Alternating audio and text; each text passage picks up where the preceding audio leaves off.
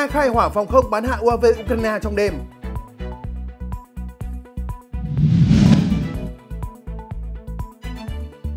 Nga cải tiến UAV cảm tử Geran 2 gây khó cho phòng không Ukraine.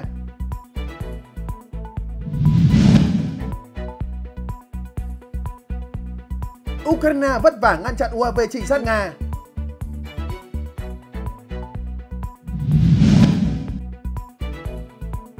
Nga tấn công dồn dập Toresk, mở đường kiểm soát toàn trang Chashovya.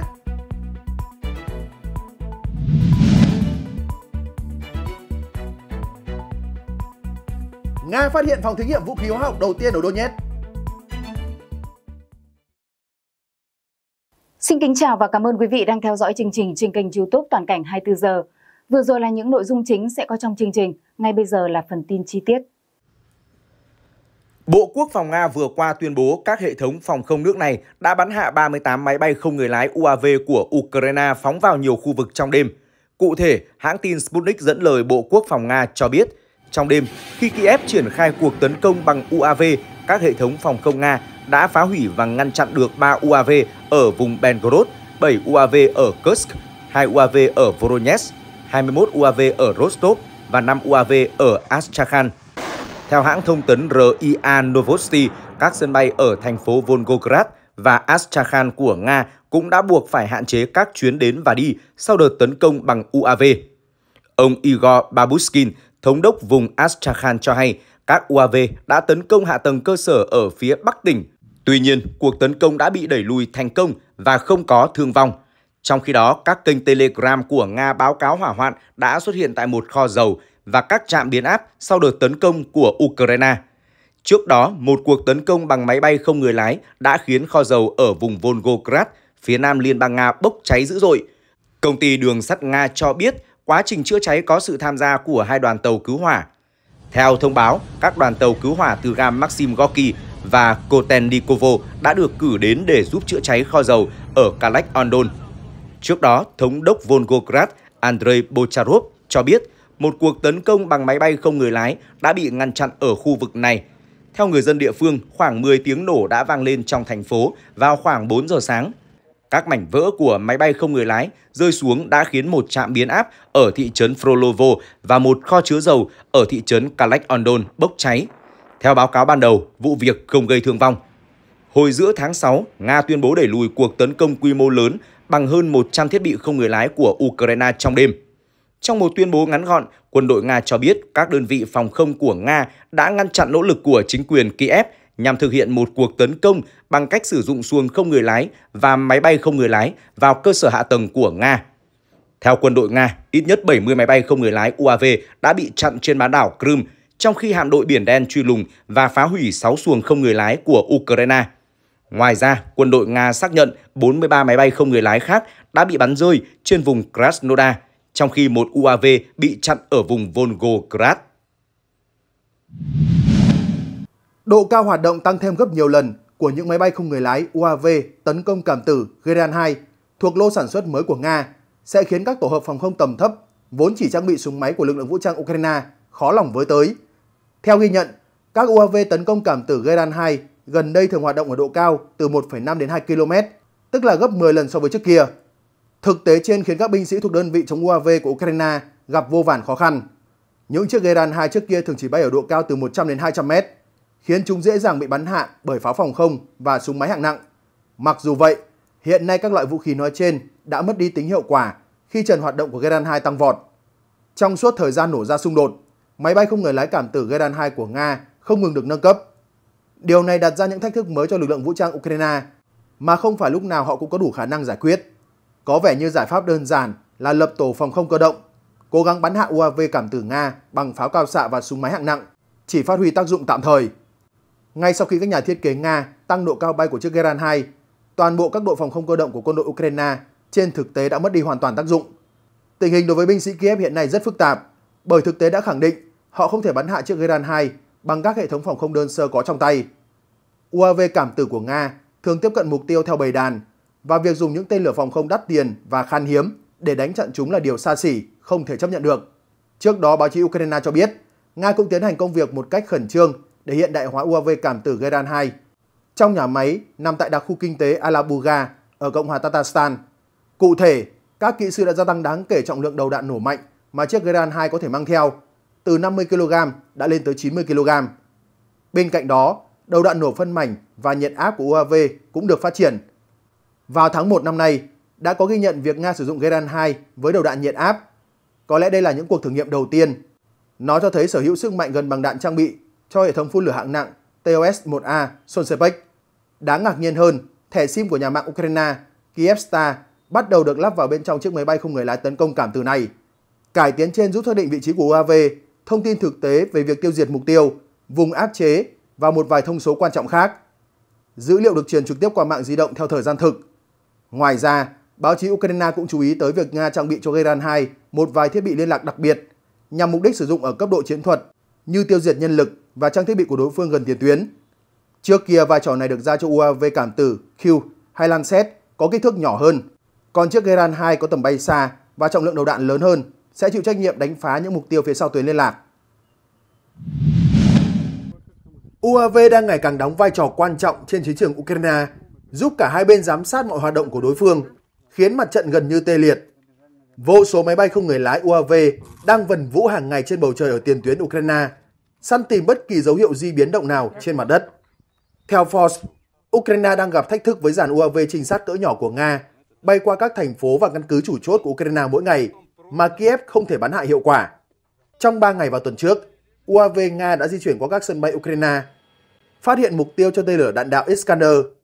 Từ tọa độ mà UAV gửi về, kíp vận hành tên lửa Nga đã nã hỏa lực, phá hủy hàng loạt máy bay có giá trị của Ukraine, gây ra thiệt hại mà Force đánh giá là không thể chịu đựng được. Các UAV trinh sát đặt ra bài toán khó cho Ukraine khi họ không có biện pháp nào hiệu quả hoàn toàn để xử lý. Về mặt lý thuyết, Ukraine có thể khai hỏa tên lửa phòng không, nhưng về mặt tác chiến, đây không phải là lựa chọn khôn ngoan. Thứ nhất, Ukraine đang cạn kiệt tên lửa phòng không và chờ đợi phương Tây viện trợ. Thứ hai, giá thành tên lửa phòng không quá đắt, gấp hàng chục, thậm chí hàng trăm lần so với giá trị của mỗi UAV trinh sát. Nga, với tiềm lực sản xuất quốc phòng hàng đầu, có thể cho ra lò hàng loạt UAV hiện đại. Việc dùng tên lửa đắt đỏ để bắn hạ UAV giá rẻ, số lượng lớn không phải là lựa chọn bền vững trong cuộc giao tranh tiêu hao. Hồi đầu tháng 6 vừa qua, một đoạn video được quân đội Ukraine phát hành cho thấy lực lượng nước này sử dụng UAV để bắn hạ một UAV trinh sát chiến thuật Zala và một UAV trinh sát tầm trung Orlan 10 của Nga đang bay giữa khu vực Velika, Novosinka. Ngoài ra, nhóm tác chiến chiến thuật Kharkov của Ukraine công bố đoạn video cho thấy UAV của Ukraine chặn UAV Lancet của Nga đang bay trên không theo hướng Kharkov. Khả năng Ukraine sử dụng UAV giá rẻ và sẵn có trên thị trường để đánh chặn trên quy mô lớn các UAV trinh sát đắt tiền hơn của Nga, có thể sẽ cho phép lực lượng Ukraine làm suy yếu các hệ thống tấn công của Nga, đồng thời giữ lại các tên lửa phòng không đánh chặn tầm ngắn và tầm trung đắt tiền và khan hiếm. Các lực lượng vũ trang Nga và Ukraine hiện đang tiến hành cuộc cạnh tranh công nghệ giữa lực lượng tấn công và phòng thủ và khả năng của Ukraine trong việc thực hiện đổi mới công nghệ trước sự thích ứng của Nga là rất quan trọng đối với khả năng của Kiev trong việc bù đắp trước những lợi thế hậu cần hiện tại của Moscow. Tờ Ukrinform dẫn báo cáo của Viện Nghiên cứu Chiến tranh ISW đánh giá rằng Bộ Chỉ huy quân sự Nga có thể có ý định tận dụng nỗ lực ở thành phố Toretsk thuộc vùng Donetsk để tạo cơ hội giành quyền kiểm soát toàn bộ khu vực Chasovya, nơi họ đã kiểm soát được một số quận quan trọng hoặc khu vực Adipka. Người phát ngôn lực lượng tác chiến Khotisia của Ukraine, Trung tá Naja Volosin tuyên bố trong một cuộc phỏng vấn với hãng thông tấn Ukraine Suspine Donbass rằng các lực lượng Nga đang bắt đầu tấn công vào Chasovya từ hướng Toretsk, phía nam Chasovya và hướng tấn công này chủ yếu sử dụng các nhóm bộ binh nhỏ và thỉnh thoảng kết hợp tấn công bằng lực lượng cơ giới. Theo các nhà phân tích của ISW, việc ông Volosin đánh giá lực lượng Nga đang tìm cách tấn công về phía nam Chasovya từ khu vực Toresk là đáng chú ý. Nếu các lực lượng Nga có thể kiểm soát và phát triển một khu vực rộng lớn hơn ở vùng giao nhau giữa Sumy, Pipdene, Pipniche, Toresk thì họ có thể đe dọa Chasovya một cách chắc chắn hơn từ phía nam, bổ sung cho các nỗ lực tấn công đang diễn ra của Nga ở phía bắc Chasovya gần Kalinivka. Tuy nhiên, nhà quan sát quân sự Ukraine Konstantin Masoves đã liên kết những nỗ lực của Nga theo hướng Toretsk với những nỗ lực tấn công theo hướng Pokrovsk, còn được gọi là hướng Adivka hay khu vực phía tây, tây nam Toretsk. Ông Masoves lưu ý rằng các lực lượng Nga đã tăng cường các cuộc tấn công vào Toretsk và Bộ Chỉ huy lực lượng trung tâm của Nga. Bộ chỉ huy này cũng chịu trách nhiệm đặc biệt về việc quân đội Nga tấn công phía tây Adivka đã triển khai thêm các tiểu đoàn và đại đội tấn công gần Toretsk để hỗ trợ các chiến dịch đang diễn ra. Nhà quan sát Masoves lưu ý rằng các yếu tố tấn công theo hướng Toretsk có liên quan trực tiếp đến hướng Adipka và đánh giá rằng quân đội Nga thuộc nhóm lực lượng trung tâm đang tìm cách ngăn chặn các vị trí của Ukraine dọc theo đường H32 Pokrovsk Kostiantinovka, một tuyến đường quan trọng cung cấp hậu cần cho lực lượng Ukraine ở Toretsk. Những quan sát riêng biệt của ông Masoves và Voloshin về triển vọng các hoạt động tấn công của Nga gần Toretsk phản ánh một động lực chiến trường đáng chú ý. Bộ Chỉ huy Nga có thể đã chọn tăng cường các hoạt động tấn công gần Toretsk vào giữa tháng 6 vì khu vực này mang lại cho lực lượng Nga một điểm xuất phát linh hoạt mà họ có thể tấn công về phía bắc tới Chasovya hoặc phía tây tây nam theo hướng Adivka, tùy thuộc vào tuyến đường tấn công nào mà Bộ Chỉ huy Nga cho là hứa hẹn nhất. Như ISVK lưu ý trước đó, lực lượng chính của Nga tập trung tại khu vực Toretsk được hình thành từ các lực lượng có chất lượng thấp hơn của Cộng hòa Nhân dân Donetsk, DNR tự xưng và lực lượng lãnh thổ có thể sẽ gặp khó khăn, đặc biệt là khi Ukraine nhận được thêm viện trợ quân sự trong những tuần và tháng tới. Trong khi đó, hãng tin Reuters cũng cho biết tại Turetsk, các lực lượng Nga đang tiến chậm nhưng chắc chắn tấn công thị trấn ngày đêm bằng tên lửa, pháo binh kết hợp với các cuộc tấn công đường không. Hoạt động này nằm trong cuộc tiến công trên diện rộng ở khu vực Donetsk mà Ukraine không thể ngăn chặn. Về phần mình, theo tờ Ukraine Pravda, các lực lượng phòng vệ Ukraine vẫn đang kiểm soát tình hình gần thành phố Toretsk, nơi giao tranh vẫn tiếp diễn và quân đội Nga chưa giành được bất kỳ lợi ích lãnh thổ nào tại đây. Mới đây, theo hãng tin TASS, Trung tướng Igor Kirillov, người đứng đầu lực lượng bảo vệ hạt nhân, hóa học và sinh học Nga nói rằng quân đội Nga phát hiện một phòng thí nghiệm vũ khí hóa học của Ukraine gần thành phố Adivka ở vùng Donetsk. Theo ông Kirillov, trong quá trình trinh sát kỹ thuật, lực lượng Nga phát hiện một phòng thí nghiệm có thiết bị hóa học ở tầng trệt của một tòa nhà tại một khu định cư gần Adimka. Ông Kirillov nói rằng lực lượng phòng thủ phóng xạ, hóa học và sinh học RCBD của Nga đã tìm thấy hệ thống lọc khí thải, lo phản ứng hóa học, bình chứa carbon dioxide và nhiều dụng cụ phòng độc tại tòa nhà. Vị tướng này cho biết, sau khi mang các hóa chất ở phòng thí nghiệm về phân tích, các chuyên gia Nga xác định có axit sulfuric, natri cyanua và lượng nhỏ các anion cyanua. Ông Kirillov lưu ý, công suất của phòng thí nghiệm ở Adipka là ít nhất 3 kg một ngày. Đơn vị này do đội ngũ nhân viên gồm từ 2 đến 3 người duy trì. Tôi muốn nhấn mạnh rằng hít phải lượng nhỏ chất độc này có thể gây tử vong, chỉ cần từ 70 đến 80 mg một người. Ông Kirillov cáo buộc quân đội Ukraine sử dụng chất độc không chỉ trong quá trình chiến đấu mà còn để thực hiện các cuộc tấn công nguy hiểm ở các vùng lãnh thổ mà Nga tuyên bố sắp nhập để nhằm vào một số nhân vật chính trị Nga. Trước đó, Trung tướng Igor Kirillov nhấn mạnh, lực lượng vũ trang Nga cho rằng Washington và Kiev đã vi phạm các điều khoản của Tổ chức Cấm Vũ khí Hóa học OPCW và lực lượng Ukraine sử dụng vũ khí hóa học do Mỹ sản xuất trên chiến trường.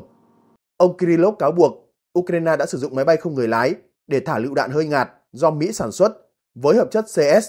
một loại hóa chất được phân loại là công cụ kiểm soát bạo loạn, gây kích ứng mắt, đường hô hấp trên, có thể gây bỏng da, liệt hô hấp và ngừng tim khi sử dụng ở nồng độ cao. Ông cho rằng Mỹ chuyển những loại vũ khí như vậy cho Ukraine và vi phạm trực tiếp các quy tắc của OPCW, trong đó nêu rõ một quốc gia không bao giờ trong bất kỳ trường hợp nào được chuyển giao vũ khí hóa học trực tiếp hoặc gián tiếp cho bất kỳ ai. Ông cũng cho biết, lực lượng của Moscow đã bị tấn công bởi một máy bay không người lái, mang theo một thùng chứa đầy chloropicrin, được phân loại là hợp chất bị nghiêm cấm, ngay cả đối với mục đích thực thi pháp luật. Loại hóa chất tương tự cũng được Kiev sử dụng gần làng Rabotino.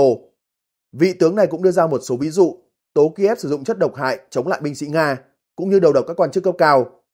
Ông Kirillov cho biết, tình báo Nga tin rằng lực lượng Ukraine dưới sự hướng dẫn của những người ủng hộ từ phương Tây phát triển một chiến thuật quân sự mới sử dụng vành đai hóa học liên quan đến việc làm nổ tung các thùng chứa axit hydrocyanic và ammoniac để ngăn chặn lực lượng Nga. Ông nói thêm rằng kế hoạch được chứng minh bằng việc Kiev đã yêu cầu EU cung cấp cho nước này thuốc giải độc, mặt nạ phòng độc và các thiết bị bảo hộ cá nhân khác vào năm 2024. Trước đó là thuốc giải độc phốt pho hữu cơ và khí mù tạt cùng một số chất khác được các nước NATO cung cấp vào năm 2023. Tổng thống Ukraine Volodymyr Zelensky tuyên bố lực lượng Nga đã phóng 40 tên lửa nhằm vào các thành phố tại Ukraine, gây thiệt hại cho hệ thống cơ sở hạ tầng cùng nhiều khu dân cư trên toàn quốc. Ngoài ra, giới chức khu vực Donetsk cho biết một số người đã thiệt mạng sau cuộc không kích của Nga vào một nhà máy ở vùng này. Viết trên ứng dụng nhắn tin Telegram, Tổng thống Zelensky cho biết tất cả các lực lượng đều tham gia để cứu được càng nhiều người càng tốt. Nhấn mạnh toàn thế giới cần quyết tâm để chấm dứt các cuộc không kích của Nga. Tổng thống Mỹ Joe Biden vừa qua cho biết, tuần này tôi sẽ chào đón Tổng thống Zelensky và các nhà lãnh đạo NATO tới Washington. Tôi cũng sẽ gặp Tổng thống Ukraine Volodymyr Zelensky để nói rõ rằng sự ủng hộ của chúng tôi dành cho Ukraine là không thể lay chuyển. Cùng với các đồng minh, chúng tôi sẽ công bố các biện pháp mới để tăng cường sức mạnh phòng không của Ukraine. Theo ông Biden, điều quan trọng là thế giới tiếp tục sát cánh cùng Ukraine. Vụ tấn công xảy ra ngay trước thềm hội nghị thượng đỉnh NATO, diễn ra từ ngày 9 tháng 7 đến ngày 11 tháng 7 tại Washington. Một trong những chủ đề quan trọng của hội nghị là cuộc xung đột ở Ukraine. Nhân dịp này, ông Zelensky kêu gọi NATO viện trợ thêm nhiều hệ thống phòng không tiên tiến Patriot cho Ukraine. Đầu tháng này, Ukraine cho biết đã nhận được hệ thống phòng không Patriot thứ ba do Đức cung cấp sau nhiều tháng kêu gọi phương Tây viện trợ thêm thiết bị để bảo vệ cơ sở hạ tầng trước các cuộc không kích của Nga. Thông báo trên mạng xã hội X của Bộ Quốc phòng Ukraine cho biết, hệ thống đã được chuyển giao và Kiev cảm ơn Berlin vì sự hỗ trợ không ngừng nghỉ. Đại sứ Đức tại Ukraine Martin Jäger viết trên mạng xã hội X, nó sẽ giúp cải thiện việc bảo vệ các cơ sở hạ tầng.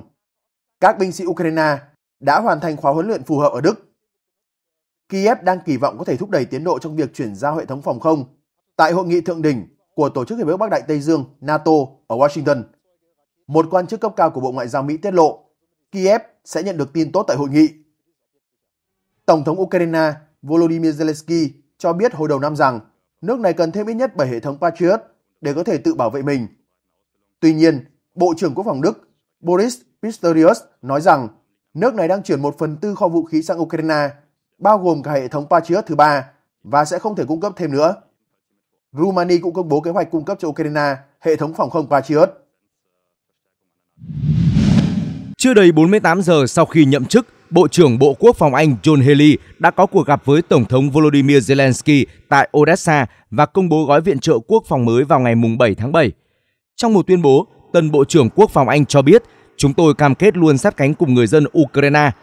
Theo báo cáo, gói viện trợ của Anh sẽ bao gồm 250.000 viên đạn cỡ nhỏ, 90 tên lửa chống tăng Brimstone, 50 tàu cỡ nhỏ hỗ trợ các hoạt động trên sông và ven biển, 40 xe rà phá bom mìn, 10 khẩu pháo AS-90 cùng 61 xe ủi đất để giúp Ukraine xây dựng các vị trí phòng thủ.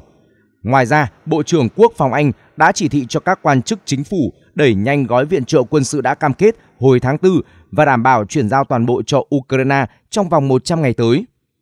Đây không phải là lần đầu tiên Anh cung cấp một số lượng lớn tên lửa Brimstone cho Ukraine. Trước đó vào tháng 2 năm nay, London cũng đã cam kết chuyển 200 tên lửa loại này cho Kiev. Brimstone là dòng tên lửa tiên tiến của Anh do tập đoàn tên lửa MBDA phát triển từ năm 1996. Tên lửa Brimstone được thiết kế để chống lại các phương tiện bọc thép, pháo và các mục tiêu khác. Trước đó, trong cuộc điện đàm với Tổng thống Ukraine Volodymyr Zelensky, Thủ tướng Anh Keir Starmer khẳng định sự ủng hộ của London dành cho Kiev trong xung đột vẫn sẽ được duy trì như trước đây. Ông Keir Starmer trở thành người đứng đầu chính phủ Anh sau khi Đảng Lao động giành chiến thắng áp đảo trong cuộc tổng tuyển cử, giành được ít nhất 412 trong số 650 ghế tại Quốc hội Anh. Ngay khi đảm nhiệm cương vị mới, Thủ tướng Keir Starmer đã có cuộc điện đàm với Tổng thống Volodymyr Zelensky. Thủ tướng Keir Starmer khẳng định sự ủng hộ của Anh dành cho Ukraine vẫn không thể lay chuyển, đồng thời tiết lộ ông mong muốn một cuộc gặp trực tiếp với Tổng thống Volodymyr Zelensky. Theo hãng thông tấn TASS, kể từ khi xung đột bùng phát, anh là một trong những quốc gia phương Tây dành sự ủng hộ lớn nhất cho Ukraine với cam kết hỗ trợ 12,5 tỷ bảng, tương đương khoảng 16 tỷ đô la Mỹ, bao gồm 7,6 tỷ bảng, tương đương 9,7 tỷ đô la Mỹ viện trợ quân sự. Cam kết của London đối với Kiev vẫn không thay đổi, bất chấp những thay đổi ở vị trí lãnh đạo. Đầu năm nay, Bộ trưởng Bộ Ngoại giao Nga Sergei Lavrov đã đưa ra những đánh giá về vai trò của Anh trong xung đột. Hồi tháng 5, Bộ Ngoại giao Nga đã triệu đại sứ Anh tại nước này Nigel Casey sau khi Ngoại trưởng Anh David Cameron tuyên bố Ukraine có quyền sử dụng vũ khí do Anh cung cấp để tấn công các mục tiêu sâu bên trong lãnh thổ Nga. Nga cảnh báo động thái này có thể khiến các cơ sở và thiết bị quân sự của Anh trên lãnh thổ Ukraine trở thành mục tiêu tấn công. Nga cũng đã nhiều lần cảnh báo việc Mỹ, Anh cùng các đồng minh cung cấp vũ khí và đạn dược cho Ukraine sẽ không ngăn cản nước này đạt được các mục tiêu quân sự mà chỉ khiến xung đột kéo dài và làm tăng nguy cơ đối đầu trực tiếp giữa Nga và NATO. Kể từ khi cuộc xung đột ở Ukraine nổ ra, Cộng hòa Séc đã cung cấp cho Ukraine nhiều khoản viện trợ quân sự trị giá 288 triệu đô la Mỹ cho Kiev. Theo báo cáo, tính đến cuối tháng 5, Cộng hòa Séc đã bàn giao khoảng 95.000 quả đạn pháo cho Ukraine, trong đó có 10.000 quả được chuyển giao trong năm nay, 8 máy bay chiến đấu, 62 xe tăng, 131 xe bọc thép chở quân, 26 xe trinh sát hóa học, 16 xe phòng không, 13 khẩu pháo, 12 hệ thống tên lửa cũng như nhiều loại vũ khí và đạn dược khác. Ngoài ra, Cộng hòa Séc cùng với các đồng minh EU khởi động một số sáng kiến đa phương nhằm cung cấp vũ khí và thiết bị quân sự cho Ukraine, bao gồm 1 triệu quả đạn pháo. Thủ tướng Séc bày tỏ lạc quan về việc bàn giao đạn pháo trong tương lai cho Ukraine và cam kết cung cấp hàng chục nghìn quả đạn pháo hạng nặng mỗi tháng. Ông cũng nhắc lại những đóng góp nhất định của Cộng hòa Séc trong việc hỗ trợ quân sự cho Ukraine, đặc biệt là lô đạn dược đầu tiên mới được chuyển sang nước này vào cuối tháng 6 theo sáng kiến cung cấp đạn dược cho Ukraine. Hiện tại, 18 quốc gia đã tham gia sáng kiến này và những chuyến hàng đầu tiên do Đức tài trợ đã đến Ukraine. Trước đó, Thủ tướng Séc Fiala đã xác nhận nước này và Ukraine sẽ ký thỏa thuận hợp tác an ninh vào ngày 18 tháng 7 tới tại hội nghị thượng đỉnh Cộng đồng Chính trị châu Âu ở London, nước Anh. Trong tuyên bố được đưa ra, Thủ tướng Fiala cho biết ông và Tổng thống Ukraine Zelensky đã nhất trí sẽ hoàn tất đàm phán về nội dung thỏa thuận trước hội nghị thượng đỉnh của Tổ chức Hiệp ước Bắc Đại Tây Dương NATO tại Washington. Thỏa thuận an ninh sắp ký kết được cho là cơ sở để Cộng hòa Séc tiếp tục viện trợ quân sự và cung cấp các hỗ trợ khác cho Ukraine. Theo thỏa thuận đã được Ukraine và Liên minh châu Âu EU ký kết hôm 27 tháng 6 vừa qua, thỏa thuận bảo đảm an ninh của Séc dựa trên cam kết chung của EU trong việc hỗ trợ Ukraine, bao gồm việc cung cấp viện trợ quân sự bổ sung, đặc biệt là đạn dược và các hệ thống phòng không, huấn luyện binh sĩ Ukraine, hợp tác công nghiệp quốc phòng và hỗ trợ nước này trong việc rà phá bom mìn. Ngoài ra, thỏa thuận cũng nhấn mạnh việc hỗ trợ Ukraine trong quá trình hội nhập EU. Hồi tháng 4 vừa qua, Tổng thống Séc Pavel đã đề cập đến một thỏa thuận an ninh có thể được ký kết giữa Séc và Ukraine trong tháng 5 hoặc tháng 6. Tuy nhiên đến nay, hai bên vẫn đang trong quá trình đàm phán để hoàn thiện dự thảo. Ngoài thỏa thuận sắp ký kết, thời gian vừa qua, Séc cũng đã tích cực viện trợ vũ khí và tài chính cho Ukraine, trong đó đáng chú ý nhất là sáng kiến mua chung đạn dược từ các nước ngoài châu Âu để cung cấp cho Ukraine. Mới đây, ngày 26 tháng 6, Thủ tướng Séc Viala xác nhận lô đạn pháo đầu tiên mua theo sáng kiến của nước này đã được chuyển tới Ukraine. Kể từ khi xung đột Nga-Ukraine nổ ra đến nay, Ukraine đã ký 19 thỏa thuận an ninh song phương như vậy. Dự kiến, ngoài Séc, Ba Lan cũng có kế hoạch ký thỏa thuận đảm bảo an ninh với Ukraine trước thời điểm diễn ra hội nghị thượng đỉnh NATO sắp tới. Các nhà lãnh đạo của Liên minh châu Âu đã tái khẳng định sự ủng hộ đối với Ukraine và cam kết sẽ hỗ trợ nước này bằng việc củng cố các sáng kiến hiện có của EU cũng như các biện pháp hỗ trợ quân sự. EU cũng sẽ cung cấp thêm sự hỗ trợ tài chính cho Ukraine dưới hình thức các khoản vay với tổng giá trị lên tới 50 tỷ euro trong giai đoạn tiếp theo.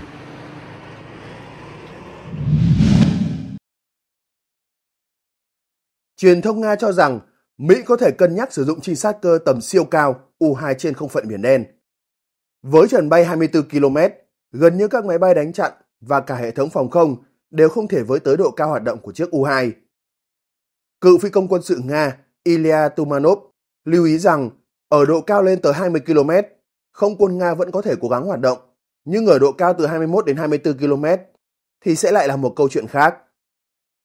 Không quân Mỹ tiếp tục tin tưởng và sử dụng phi đội máy bay do thám trinh sát U-2 Dragon Lady, biệt danh Quý Bà Rồng, dù chúng đã ra đời cách đây gần 70 năm. Lockheed U-2 được coi là chiếc máy bay do thám biểu tượng của không lực Mỹ. Loại máy bay này cất cánh lần đầu vào năm 1955 và đi vào hoạt động năm 1958. Loại máy bay có thiết kế đặc biệt để có thể bay trong mọi điều kiện thời tiết,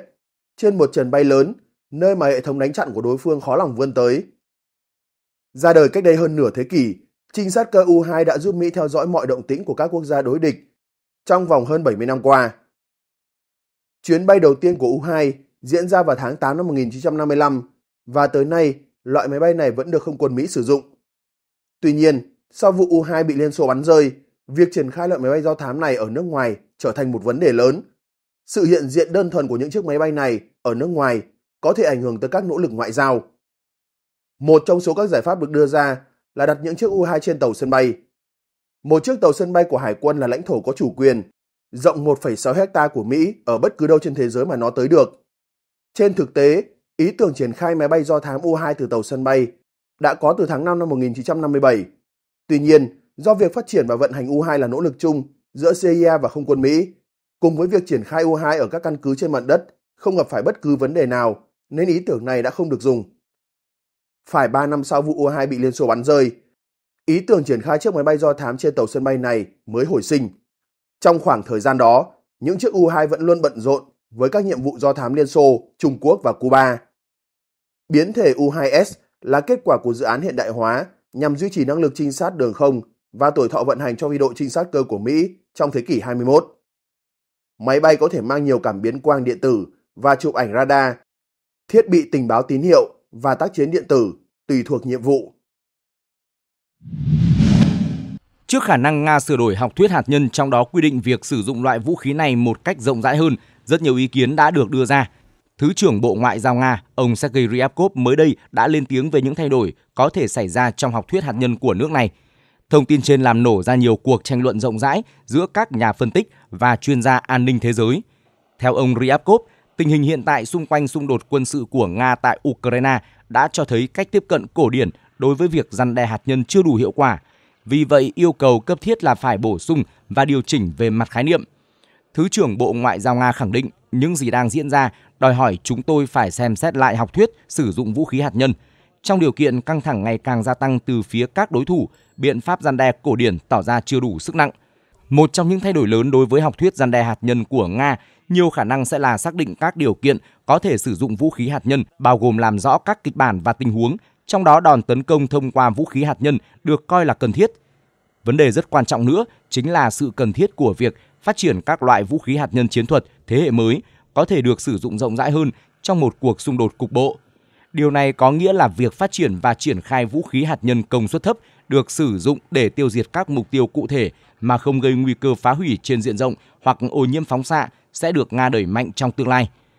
Bên cạnh đó, Nga hoàn toàn có thể xem xét tăng cường năng lực cho lực lượng hạt nhân chiến lược của mình thông qua việc nâng cấp các hệ thống hiện có và phát triển thêm nhiều loại vũ khí mới. Mặc dù vậy, Nga sẽ cần phải rất cẩn trọng với những bước đi của mình, bởi nếu học thuyết hạt nhân được Moscow sửa đổi theo hướng đi trên thì chắc chắn NATO sẽ đáp trả tương xứng. Khi đó nguy cơ chiến tranh nguyên tử dù chỉ ở cấp độ hạn chế sẽ lớn hơn bao giờ hết.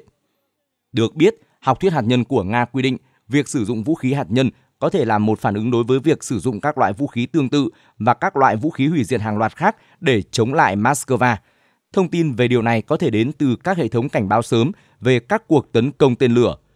Quy định sử dụng vũ khí hạt nhân cũng được áp dụng khi đối phương sử dụng vũ khí thông thường đe dọa tới sự tồn tại của nhà nước Nga hoặc các cơ sở quân sự, nhà nước cực kỳ quan trọng của Nga. Sự thất bại của chúng sẽ dẫn đến sự gián đoạn của các hành động phản ứng của lực lượng hạt nhân. Tổng thống Nga có thể thông báo tới các quốc gia và tổ chức quốc tế khác về việc sử dụng vũ khí hạt nhân, nhưng điều này không bắt buộc. Do đó, việc sử dụng vũ khí hạt nhân về bản chất có thể mang tính phủ đầu và các tình huống khi nước Nga bị đe dọa. Nhà nghiên cứu cấp cao tại Viện Nghiên cứu Giải trừ quân bị của Liên Hợp Quốc Pavel Potvich đánh giá học thuyết sử dụng vũ khí hạt nhân và kho vũ khí hạt nhân khổng lồ của Nga sẽ đặt ra làn danh đỏ đối với mọi đối thủ tiềm năng. Ngày 8 tháng 7, Cố vấn cấp cao về châu Âu tại Hội đồng An ninh Quốc gia Nhà Trắng, Đại sứ Michael Carpenter tuyên bố Tổ chức Hiệp ước Bắc Đại Tây Dương NATO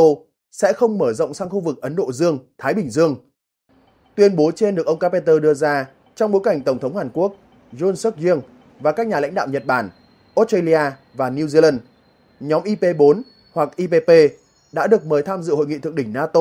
dự kiến diễn ra tại Washington DC từ ngày 9 đến ngày 11 tháng 7.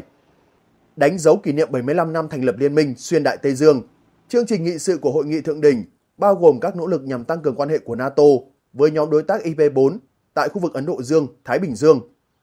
Phát biểu tại Trung tâm Báo chí nước ngoài thuộc Bộ Ngoại giao Mỹ, ông Carpenter nói,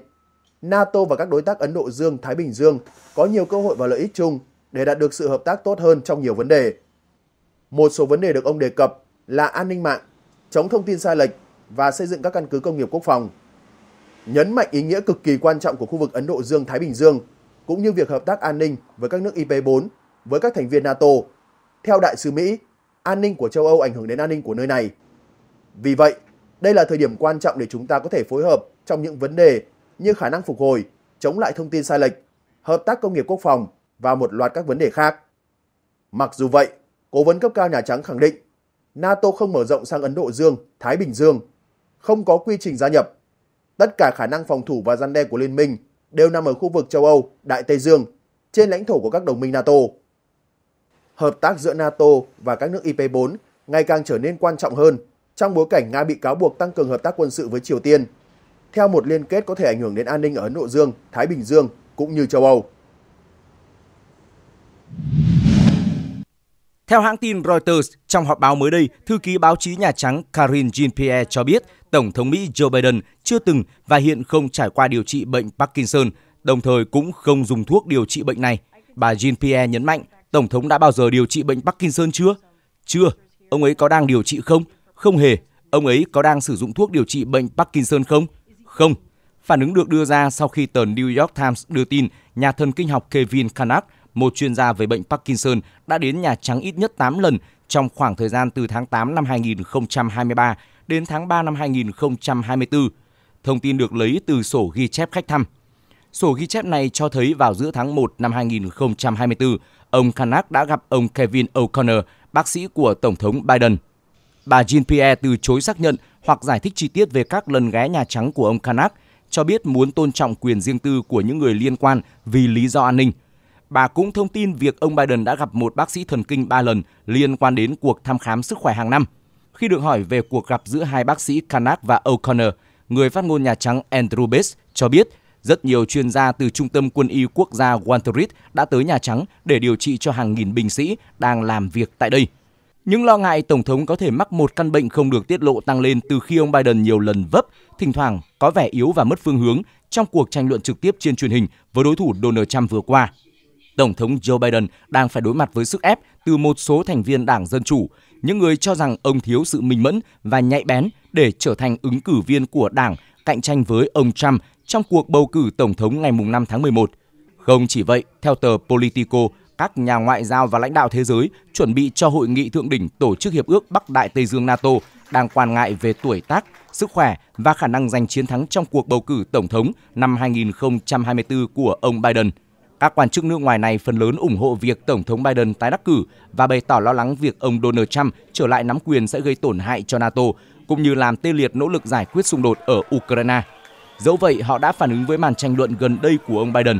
lo ông Biden khó có thể đánh bại ông Trump. Hãng thông tấn chính thức IRNA của Iran đưa tin, ngày 8 tháng 7, Tổng thống đắc cử của nước này Masoud Pezeshkian và Tổng thống Nga Vladimir Putin đã điện đàm, trong đó trao đổi quan điểm về việc thúc đẩy quan hệ song phương. Theo IRNA, trong cuộc điện đàm, hai nhà lãnh đạo Iran và Nga đã bày tỏ sẵn sàng ký kết một thỏa thuận hợp tác toàn diện bên lề hội nghị thượng đỉnh nhóm các nước đang phát triển hàng đầu BRICS dự kiến diễn ra tại thành phố Kazan, Cộng hòa Tatarstan thuộc Nga vào tháng 10 tới. Ông Pezeshkian cho biết, Iran coi trọng mối quan hệ với các quốc gia láng giềng và thân thiện, đồng thời sẽ tăng cường các mối quan hệ như vậy theo ông, Tehran sẽ tập trung theo dõi và thực hiện các thỏa thuận song phương đã đạt được dưới thời cố Tổng thống Ebrahim Raisi, người đã tử nạn trong vụ rơi trực thăng ngày 19 tháng 5. Ông Pezeshkian nhấn mạnh tầm quan trọng của mối quan hệ Iran-Nga trong khuôn khổ các tổ chức, liên minh và hiệp ước ở cấp khu vực và quốc tế như Tổ chức Hợp tác Thượng Hải SCO, BRICS và Liên minh Kinh tế Á-Âu EAEU. Ông khẳng định các văn kiện liên quan đến thỏa thuận hợp tác toàn diện giữa Iran và Nga đã hoàn tất và Tehran sẵn sàng ký kết bên lề hội nghị thượng đỉnh BRICS sắp tới. Trong khi đó, sau cuộc điện đàm, Điện Kremlin cho biết Tổng thống Putin đã chúc mừng ông Pezeshkian đắc cử Tổng thống Iran và chúc người đồng cấp thành công trên cương vị mới. Hai bên cũng bày tỏ hài lòng trước mối quan hệ song phương ở mức độ cao, đồng thời tái khẳng định sẵn sàng tiếp tục phát triển quan hệ hợp tác cùng có lợi giữa hai nước trong nhiều lĩnh vực khác nhau. Trước đó, thư ký báo chí của Tổng thống Nga, ông Dmitry Peskov cho biết Nga chúc Iran thành công dưới sự lãnh đạo của Tổng thống đắc cử Pezeshkian và hy vọng sẽ tiếp tục phát triển mối quan hệ chặt chẽ với Tehran. Ông Pezeshkian đã đắc cử Tổng thống Iran trong cuộc bầu cử Tổng thống vòng 2 vào ngày 5 tháng 7. Đây là cuộc bầu cử tổng thống lần thứ 14 của Iran. Theo kế hoạch ban đầu, cuộc bầu cử được tiến hành vào năm 2025 nhưng đã được tổ chức sớm một năm sau khi Tổng thống Ebrahim Raisi qua đời trong một vụ tai nạn trực thăng. Dự kiến, ông Pezeshkian sẽ nhậm chức vào đầu tháng 8 tới. Theo The National, tàu khu trục Sahel của Hải quân Iran gặp sự cố khi đang được sửa chữa tại cảng Bandar Abbas ở miền nam Iran. Thông tin ban đầu cho thấy đây là một vụ tai nạn hy hữu. Hãng thông tấn quốc gia Iran IRNA dẫn lời hải quân nước này cho biết sự việc khiến một số người bị thương nhẹ và họ đã được đưa đến bệnh viện. IRNA cho biết con tàu gặp nạn ở vùng nước nông nên có thể được đưa trở về trạng thái cân bằng, thêm rằng điều này đang nhanh chóng được thực hiện. Hình ảnh do IRNA đăng tải cho thấy tàu Sahel bị lật về phía bên trái, phần mũi tàu nhô cao hơn phần đuôi. Chỉ có một bên thân tàu và mái vòm sonar, bộ phận chứa các thiết bị điện tử dùng để phát hiện, định vị và đo khoảng cách còn ở trên mặt nước. Tàu Sahel có tên tương tự một ngọn núi ở miền Bắc Iran, được đóng trong vòng 6 năm và hạ thủy tại Vịnh Ba Tư vào tháng 12 năm 2018.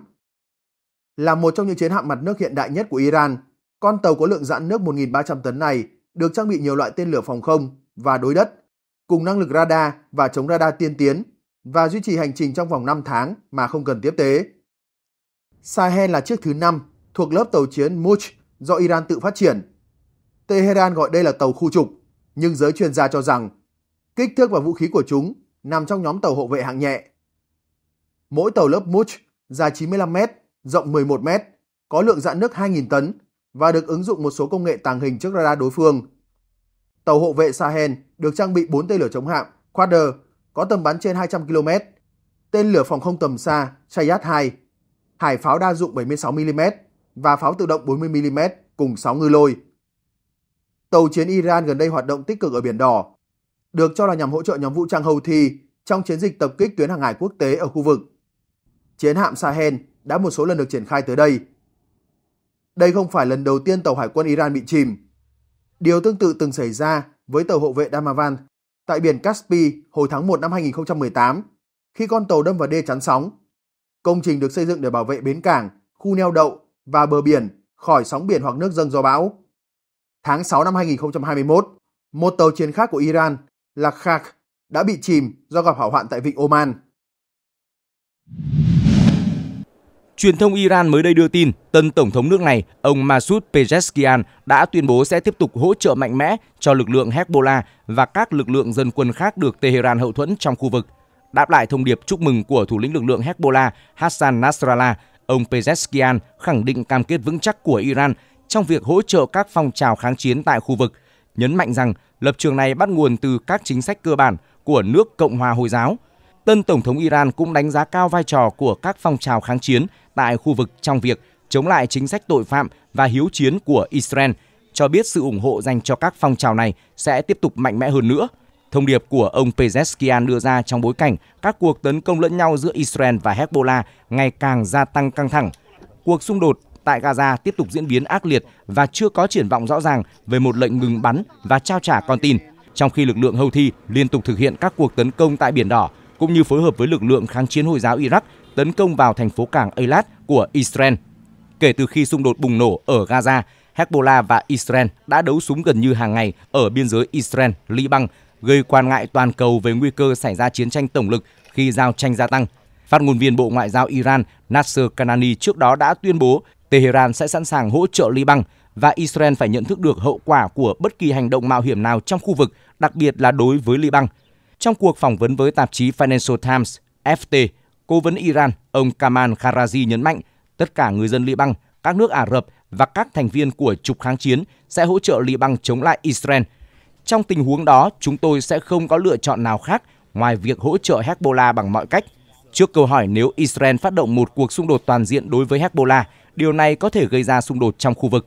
Quan chức Iran khẳng định Tehran không muốn dính líu đến một cuộc xung đột khu vực và kêu gọi Mỹ gây sức ép đối với Israel để ngăn chặn tình hình gia tăng căng thẳng. Ông Kharazi nói, việc chiến tranh mở rộng không có lợi cho bất kỳ ai, kể cả Iran hay Mỹ. Iran và Israel cũng tiến hành các cuộc tấn công ăn miếng trả miếng vào tháng 4, đánh dấu cuộc tấn công trực tiếp đầu tiên giữa hai bên từ lãnh thổ của nhau. Sau đó cả hai bên đều tìm cách giảm căng thẳng bằng các cuộc tấn công đã được điều chỉnh và hạn chế gây ra thiệt hại. Tuy nhiên trong những tuần gần đây, lo ngại về một cuộc xung đột toàn diện giữa Israel và Hezbollah lại gia tăng trong bối cảnh hai bên liên tục trao đổi những lời lẽ khiêu khích. Phái đoàn Iran tại Liên Hợp Quốc cũng đã cảnh báo về một cuộc xung đột hủy diệt nếu Israel tiến hành một cuộc tấn công nhằm vào Hezbollah, đồng thời cho biết Iran đều đang cân nhắc tất cả các phương án hành động. Thủ tướng Israel Benjamin Netanyahu cho biết bất kỳ thỏa thuận ngừng bắn nào ở Gaza đều phải cho phép Israel chiến đấu cho đến khi đạt được mục tiêu. Tuyên bố của Thủ tướng Israel Benjamin Netanyahu được đưa ra sau khi Hamas chấp nhận thỏa thuận ngừng bắn theo từng giai đoạn do Mỹ đề xuất. Cụ thể, thỏa thuận này bỏ qua yêu cầu quan trọng là Israel phải cam kết ngừng bắn vĩnh viễn trước khi ký kết. Đồng thời, Hamas hy vọng sớm chấm dứt tình trạng căng thẳng thông qua các cuộc đàm phán trong giai đoạn 6 tuần đầu tiên của thỏa thuận nhằm giải quyết xung đột ở Gaza. Một trong những mục tiêu chính mà Thủ tướng Israel liên tục nêu ra là tiêu diệt hoàn toàn nhóm chiến binh Hamas. Tuy nhiên, Hamas muốn có sự đảm bảo bằng văn bản từ các nhà trung gian quốc tế rằng Israel sẽ tiếp tục đàm phán ngừng bắn vĩnh viễn khi giai đoạn đầu tiên của thỏa thuận có hiệu lực. Vấn đề con tin cũng được giải quyết sau khi thực hiện giai đoạn đầu tiên. Hamas đang chờ phản hồi từ Israel đối với đề xuất mới nhất. Tuy nhiên, ông Netanyahu nhấn mạnh bất kỳ thỏa thuận nào cũng phải cho phép Israel tiếp tục chiến đấu cho đến khi đạt được tất cả các mục tiêu của cuộc chiến. Trong khi trước đó, một quan chức cấp cao Hezbollah khẳng định một khi đạt được thỏa thuận ngừng bắn ở Gaza, Hezbollah sẽ ngừng tấn công ngay lập tức. Tổ chức này cho biết các cuộc tấn công bằng tên lửa và thiết bị bay không người lái vào miền Bắc Israel là nhằm ủng hộ người Palestine. Ngoài ra, truyền thông Thổ Nhĩ Kỳ đưa tin Tổng thống Tayyip Erdogan nói rằng ông hy vọng lệnh ngừng bắn cuối cùng có thể đạt được trong vài ngày tới và kêu gọi các nước phương Tây gây sức ép để Israel chấp nhận các điều khoản được đưa ra. Đề xuất mới của Hamas được cho là câu trả lời cho một kế hoạch gồm 3 giai đoạn được Tổng thống Mỹ Joe Biden công bố vào cuối tháng 5, bao gồm việc thả khoảng 120 con tin vẫn bị giam giữ ở Gaza và một lệnh ngừng bắn. Kế hoạch này bao gồm việc thả dần các con tin và lực lượng Israel rút quân trong hai giai đoạn đầu. Giai đoạn thứ ba liên quan đến việc tái thiết Gaza. Israel trước đây khẳng định họ sẽ chỉ chấp nhận tạm dừng giao tranh cho đến khi Hamas bị tiêu diệt hoàn toàn – theo truyền thông, nhà lãnh đạo Israel đã lên lịch tổ chức tham vấn đối với các bước tiếp theo, song tuyên bố mới nhất của ông khiến việc đạt thỏa thuận trở nên khó khăn hơn. Ông Netanyahu nhấn mạnh, kế hoạch đã được Israel chấp nhận và được Tổng thống Joe Biden hoan nghênh, cho phép Israel trao trả con tin mà không ảnh hưởng đến những mục tiêu khác của cuộc xung đột. Các cuộc đàm phán do Qatar, Ai Cập và Mỹ làm trung gian cho đến nay vẫn chưa đạt được lệnh ngừng bắn ở Gaza hoặc thả các con tin. Thưa quý vị, nội dung vừa rồi đã khép lại chương trình trên kênh Toàn cảnh 24 giờ ngày hôm nay. Cảm ơn quý vị đã quan tâm theo dõi. Xin kính chào và hẹn gặp lại.